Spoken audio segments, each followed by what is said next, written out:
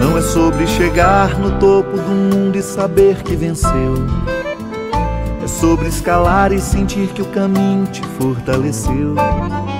É sobre ser abrigo e também ter morada em outros corações. E assim ter amigos contigo em todas as situações. A gente não pode ter tudo. Qual seria a graça do mundo se fosse assim?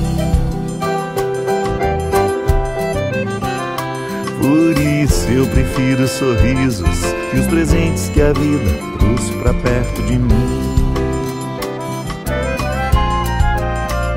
Não é sobre tudo que o seu dinheiro é capaz de comprar. E sim sobre cada momento, sorriso a se compartilhar. Também não é sobre correr contra o tempo para ter sempre mais.